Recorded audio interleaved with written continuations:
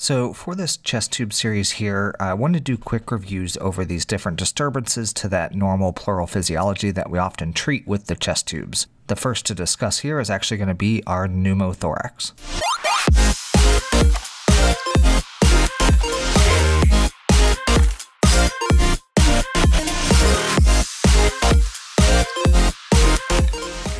Alright you guys, welcome back to another video lesson from ICU Advantage. My name is Eddie Watson, and my goal is to give you guys the confidence to succeed in the ICU by making these complex critical care subjects easy to understand. I truly hope that I'm able to do just that, and if I am, I do invite you to subscribe to the channel down below. When you do, make sure you hit that bell icon and select all notifications so you never miss out when I release a new lesson.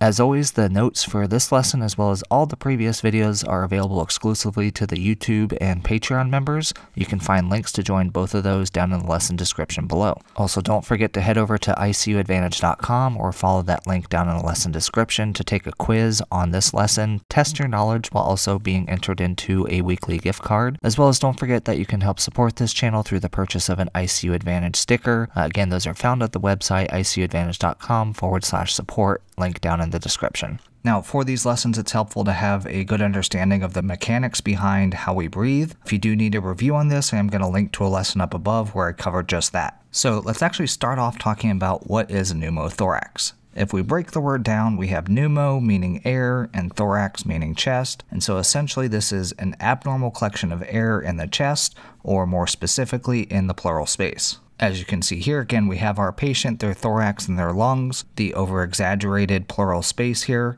And so for a pneumothorax, we're going to have this abnormal collection of air you see here.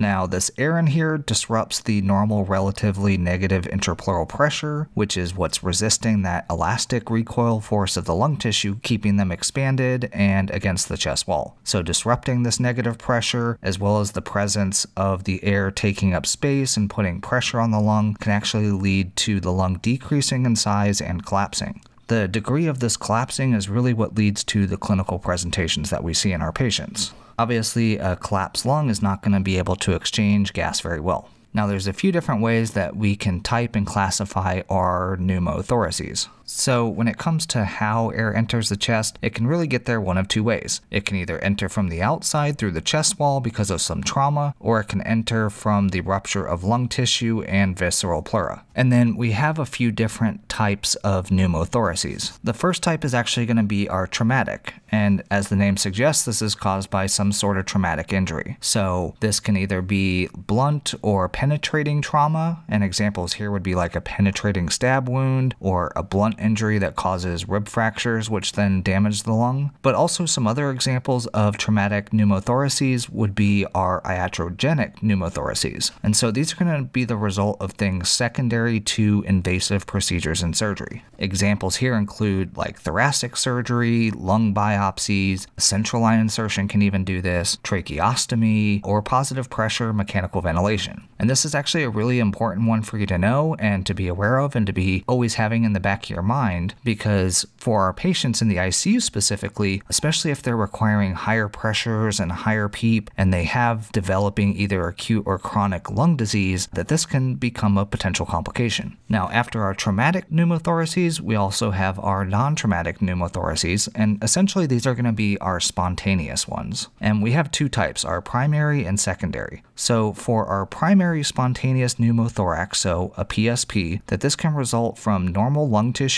really without any known cause. For secondary spontaneous pneumothorax, or SSP, that this results from lung tissue that has some sort of underlying disease. So this can be the result of things like COPD, ARDS, asthma, TB, fibrosis, cancer, pneumonia, and even endometriosis, just to name a few. Now, in addition to our types, we can actually classify a pneumothorax in four different ways. We have our simple versus tension and our open versus closed.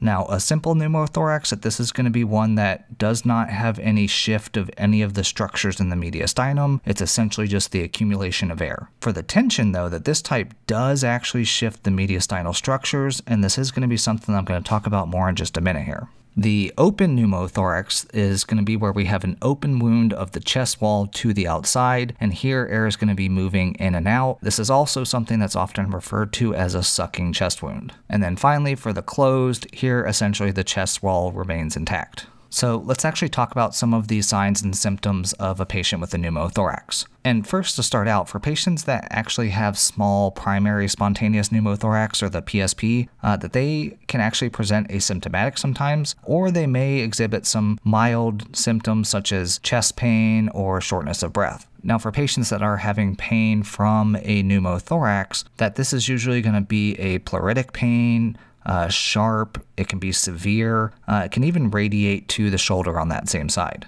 Now, for a patient with a secondary or traumatic pneumothorax, that dyspnea is often going to be more severe. Now, along with that discomfort or pain, shortness of breath, and dyspnea, we can also see things like increased respiratory rate, hypoxemia, hypercapnia, subcutaneous emphysema or subcu air, we can see asymmetric lung expansion, potentially decreased or even absent breath sounds on the affected side. There can be hyperresonance on percussion, again on the affected side, as well as decreased tactile fremitus and vocal resonance, once again on that affected side. Now, if a patient has a pneumothorax that is large enough and a one way valve exists that's allowing air into that pleural space but not out, it can actually lead to significant impairment of respiration and cardiac function. This is something that we refer to as a tension pneumothorax, and this one is potentially life threatening and does require immediate intervention. So, here, the pressure or the tension caused by the pneumothorax puts pressure on the mediastinal structures, and this includes the heart and the vena cavas.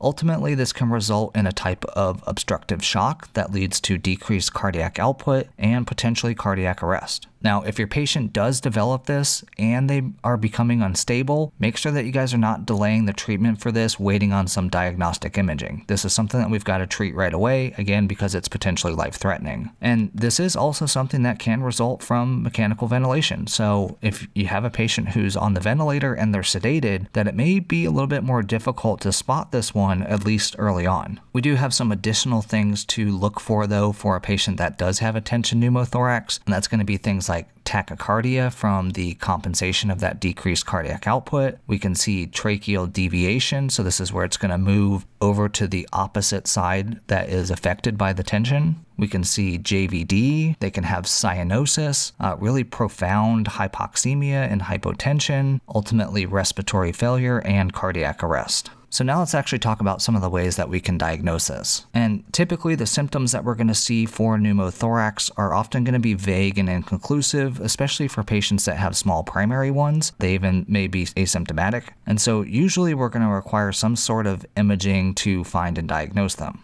So the first is going to be our x-ray, and really this is going to be our gold standard, and it's something that's quick and easy to do. So here we're going to be doing a posterior anterior or PA chest x-ray, and this is going to be the primary x-ray that we use. Now if we don't observe one on a PA x-ray, but we are still suspecting the pneumothorax, then we can get a lateral view as well. Now, usually our x rays are going to be obtained at the peak of inspiration during that inspiratory pause, but an x ray at the end of expiration may also be helpful here because the lungs are going to be smaller, because they're more compressed, they're going to show up wider, and we may actually be able to visualize the air easier.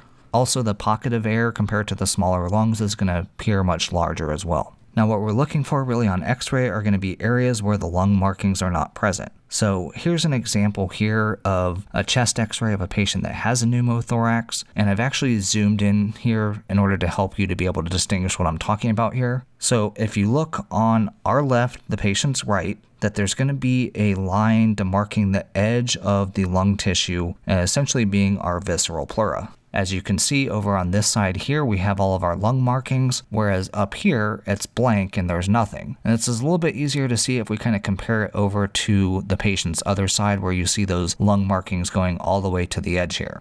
Now, because air rises, typically we're going to see our pneumothorax being superior and near the apex of the lung, but as the pneumo grows, that it can actually start to move laterally and then inferiorly on the lung as well, depending on its size. Now, also an ipsilateral deep sulcus sign might also be indicative of a pneumo as well on that side. Now, a tension pneumothorax, which here's an example of this here, is actually going to be a little bit more obvious as the lung, as you can see here, is going to be either almost completely or completely collapsed, leaving all of this area here of air. And then we're also going to be able to observe the mediastinal shift and the tracheal deviation away from that affected side. All right, so in addition to x-ray, we can also do the computerized topography or CT scan. Now, the CT scan is not something that we routinely use, but it can actually give us a much better gauge of the location and the size of the pneumothorax. Also, abnormal lung tissue can sometimes appear as a pneumo on x-ray, and for patients that are lying down, which is oftentimes going to be a lot of our patients in the ICU, that the pneumos can be missed as well on x ray. And so our CT is going to be much more sensitive for identifying the pneumothorax. As you can see an example of this here, it's pretty clear, pretty obvious. The black area is going to be where the air is, and it's going to be really obvious on the CT compared to an x-ray. And then lastly, we have our ultrasound, as this is actually a pretty quick method for checking for a pneumo and is pretty helpful in cases of trauma or emergency situations, and it may actually be more sensitive than a chest x-ray as well. Alright, so now let's talk about our different treatment options. And the treatment options really are going to depend on the size of the pneumo as well as the associated symptoms. So first we have our conservative treatment, and this is really going to be for those small primary pneumothoraces that are really asymptomatic. And in these cases, we're really just going to watch and keep an eye on them. One of the things that we can do is actually deliver oxygen therapy, and this is helpful in resolving these. Um, we do have studies that show the benefit of resolving these pneumothoraces quicker, and really the thought here is that by delivering the oxygen, that's going to create a higher partial pressure of oxygen in the alveoli. This is going to create a pressure gradient of nitrogen, which is the most abundant component of air, and that's going to help to draw that nitrogen out of the pleural space back into the alveoli, helping to resolve that pneumothorax pneumothorax. Now, another potential treatment option is going to be needle aspiration. And so, here for our larger primary or primary that has the shortness of breath or the moderately sized secondary pneumothoraces, that needle aspiration might be something that we consider, but this really isn't something that's commonly performed for hospitalized patients. So, then from here, we have the chest tube and this is really the gold standard for treatment of pneumothorax. And this is especially going to be true for the larger pneumos as well as those that are associated with symptoms, including our tension pneumo. Now, when it comes to tension, we can also do something called needle decompression, and this is if we're unable to get a chest tube placed quickly, but again, this usually isn't something that's commonly done in the hospital setting. Now, when using a chest tube for pneumothorax, typically we're going to insert it slightly higher, and this is going to be in the fourth intercostal space, and this is usually either mid or anterior axillary line, and then typically they're going to be inserted going superiorly. And then for our spontaneous pneumos, uh, usually a smaller size chest tube is used, so something like a 14 or 16 French. And then for our traumatic pneumos, here we're going to use a little bit larger of a chest tube, and typically this is going to be like 24, 26, 28 French, something like that. And then oftentimes we are going to have the chest tube to suction initially, which is going to help to resolve the pneumo a little bit quicker. Now, real quickly here, one thing I did want to mention was our treatment for the open pneumothorax. And this is typically something that you're just going to see if you're working in the ED or like in a trauma bay. But this is essentially for the sucking chest wound. We've got that air that's being pulled in with each breath. And so we actually have to get this sealed off. And the way we do this is with some sort of occlusive dressing that we're going to tape down on three sides. And essentially, this is going to seal off the wound on inspiration, but still have the fourth side that is available for air to escape on expiration. And then ultimately, we're going to wait for surgical repair and then chest tube placement to be achieved. And then finally, our last option for treatment is really going to be surgery. And so sometimes we have a pneumo that just doesn't resolve and we have a continued air leak. In these cases, a more invasive measure is going to be needed. And this is also the case for some trauma related injuries as well. And so here, your patient may need to go to the OR for a thoracotomy. Now, this can either be an open thoracotomy, or a video assisted thoracotomy or a VAT, which has the benefits of smaller incisions and a little bit quicker recovery. That said, our outcomes tend to be a little bit better with the open thoracotomy.